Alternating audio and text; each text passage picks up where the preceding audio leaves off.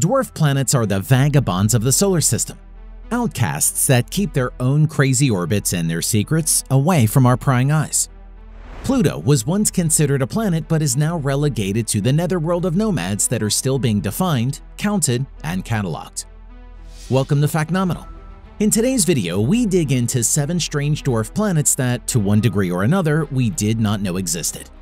What mysteries do they harbor, and what can they tell us about our own origins?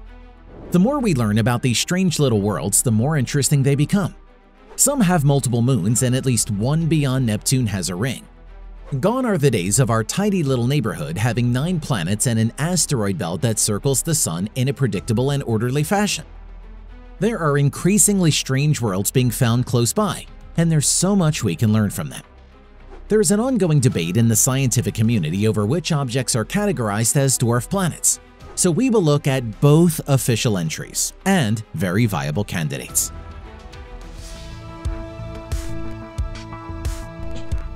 Any accounting of strange dwarf planets starts with Haumea, an odd thing over 2 billion kilometers or 1.24 billion miles beyond Pluto. Named for the Hawaiian goddess of childbirth, this occupant of the Kuiper Belt is roughly the same size as the former ninth planet, with a notable difference. Haumea is very much shaped like an egg, or some say a football. Called Santa by one of two teams who claim the 2003 discovery, Haumea is one of the fastest rotating objects in our solar system. A day on this little wonder lasts only 3 hours and 55 minutes and astronomers believe its rapid spinning caused the distortion of its shape. Some theorize a collision with a gigantic object started Haumea's rapid spinning billions of years ago.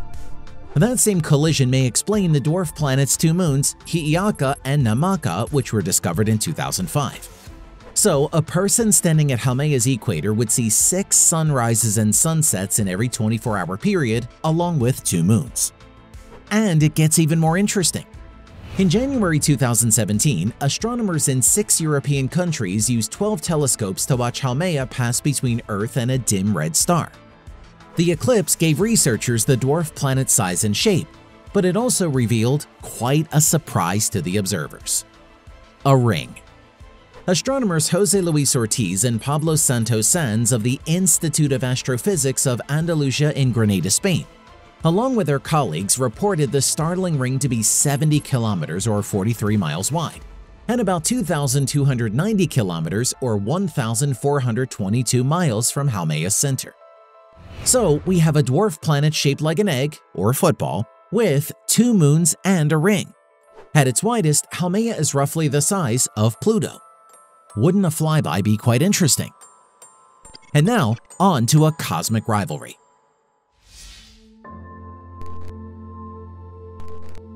Eris gets much of the blame for Pluto's demotion from planet status to dwarf planet, and it all started on January 8, 2005, when astronomers announced their discovery of a Pluto-sized world billions of miles past Neptune's orbit. It was originally thought to be larger than the then ninth planet, which ignited debate over what exactly qualifies a body in the solar system to be deemed planetary. So in 2006, the International Astronomical Union IAU concluded that Pluto is only a dwarf planet and belongs in a different category than its eight former colleagues. Thank you, Eris. It took another decade for NASA's New Horizons mission to reveal Eris is actually smaller than Pluto. Oops. Scientists, after the 2005 discovery, named the new world Xena after the fictional TV character and its tiny moon Gabriella after her sidekick. But the IAU the next year chose to call the dwarf planet Eris after the Greek goddess of discord. As in discord over Pluto's relegation to less than planetary status, so it's fitting. The tiny moon would now be Dysnomia, Eris's daughter and the demon goddess of lawlessness in Greek mythology. Both are part of the Kuiper Belt of thousands of icy little worlds that occupy a disk-like zone beyond Neptune. A single day on Eris is quite similar in length to one on Earth, totaling 25.9 hours. A year is a much different story, with a dwarf planet needing 557 Earth years to journey around the Sun. And its orbit is very eccentric, inclined about 44 degrees to the plane of the solar system. And far past Eris comes our next entry.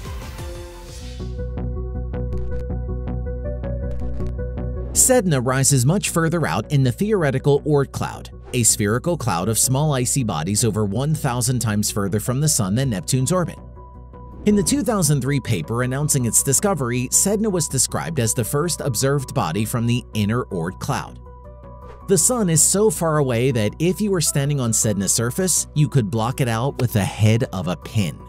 The discoverers named it for the Inuit goddess of sea and marine animals, also known as the goddess or mistress of the sea. Only Mars is redder than this dwarf planet, which is three-fourths the size of Pluto and likely the largest object in the solar system discovered since the former ninth planet in 1930. As for its orbit, it takes roughly 11,400 Earth years to travel around the Sun. Many astronomers believe this dwarf planet was not formed where it is, but was possibly knocked out of the Oort cloud by a passing star, a sort of cosmic game of marbles. Its intense reddish hue is thought to be from the presence of tholins, organic compounds found on other solar system occupants by New Horizons. These compounds rain down onto the surface after interaction with cosmic rays or ultraviolet light in atmospheric methane. The term tholin was coined by Carl Sagan and a colleague in a 1979 paper.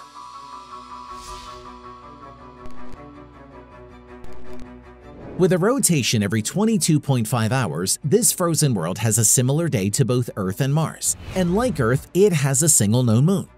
But that's where the similarities end.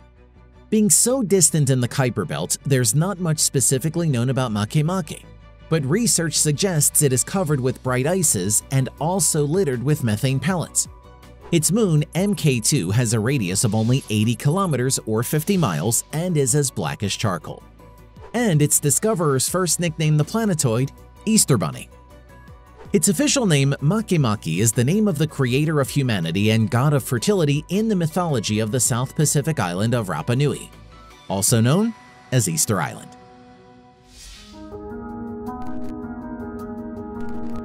Ceres has the triple distinction of being the largest object in the asteroid belt between Mars and Jupiter, the first asteroid found all the way back in 1801, and the only dwarf planet in the inner solar system. Originally categorized as an asteroid, Ceres was deemed a dwarf planet in 2006. By planetary standards, Ceres is quite small with a radius of only 476 kilometers or 296 miles. However, it's by far the largest object in the asteroid belt, thus its dwarf planet designation. And while there's no evidence of an atmosphere, data gleaned from NASA's Dawn spacecraft shows a water-rich world with a crust dominated by the frozen remains of a global ocean. Also fascinating are several bright spots discovered on Ceres by Dawn in 2015. Turns out these are salt deposits, likely from evaporated liquids that percolated up to the dwarf planet's surface.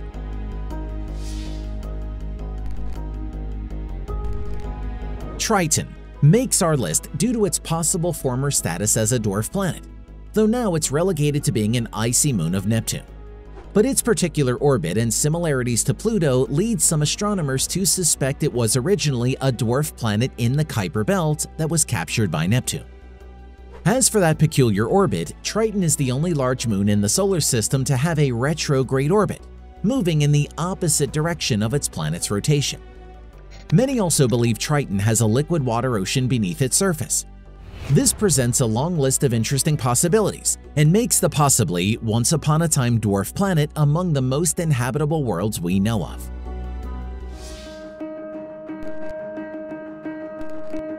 And finally, we reach Pluto. For 76 years, Pluto breathed the rarefied air of being one of nine planets in our solar system but that all changed with its reclassification in 2006. Now, it must settle for being the largest dwarf planet and the reigning king of the Kuiper Belt, sometimes called the third zone of the solar system. Pluto's orbit is in resonance with Neptune, circling the Sun twice for every three orbits by Neptune.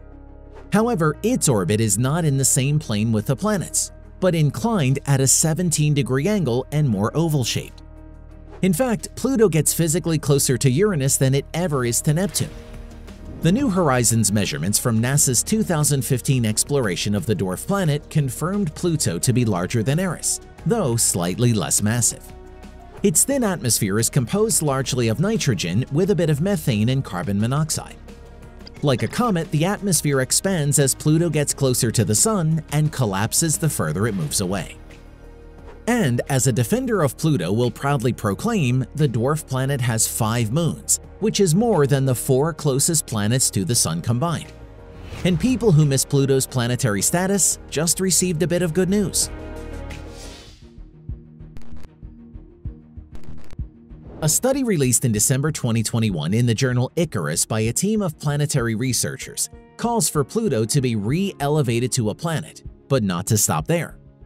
The 2006 IAU decision established three criteria a planet must achieve. 1. It is in orbit around the Sun. 2. It has sufficient mass to assume hydrostatic equilibrium, a nearly round shape. And 3. It has cleared the neighborhood around its orbit. But the brand new study claims the IAU's definition of a planet is based on astrology, not science. Philip Metzger, planetary physicist at the University of Central Florida, and the study's lead author says, We think there's probably over 150 planets in our solar system. He also noted that Eris and Makemake were discovered by 2006 and the new definition was designed to exclude them. Metzger adds that we are continuing to call Pluto a planet in our papers, we are continuing to call Titan and Triton and some other moons by the term planet. Basically, we are ignoring the IAU. So, are all these strange dwarf planets and geologically active moons going to be reclassified as planets? Not only will that make every kid's quiz over the solar system much more difficult, but according to the author of How I Killed Pluto and Why It Had It Coming, the IAU made the correct call with the 2006 resolution. Michael Brown, Caltech astronomer and author says, The IAU fixed an embarrassing mistake that had been perpetrated for generations. The solar system is now sensible.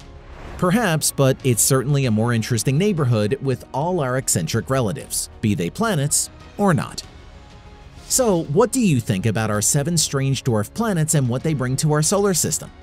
What questions would you like to see the James Webb Space Telescope or a future flyby answer about our odd neighbors? Tell us in the comments. And as always, thank you for watching Factnomenal.